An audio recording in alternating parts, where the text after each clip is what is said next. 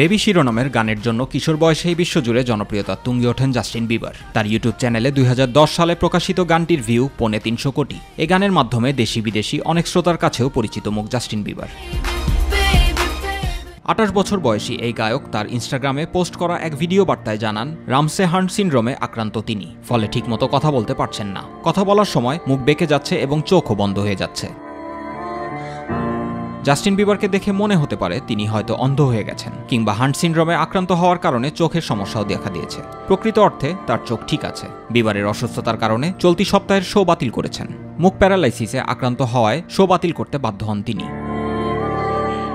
Medical বিশেষজ্ঞরা জানান, যখন কোনো ব্যক্তি এ ধরনের সিনড্রোমে আক্রান্ত হন, তখন তিনি তার মুখমণ্ডলের স্নায়ু ব্যবহারের কার্যকারিতা হারিয়ে ফেলেন। আবার কারও কারও কানেও সমস্যা দেখা দেয়। এ সপ্তাহে জাস্টিন বিবারের পৃথিবী ঘুরে বেড়ানোর কথা ছিল যা গত ফেব্রুয়ারি শুরু হয়েছে। কিন্তু হঠাৎ করে মুখমণ্ডলে সমস্যা দেখা দেয়ায় বাতিল করা হয়েছে তিনটি show Zubair Rahman my TV news desk.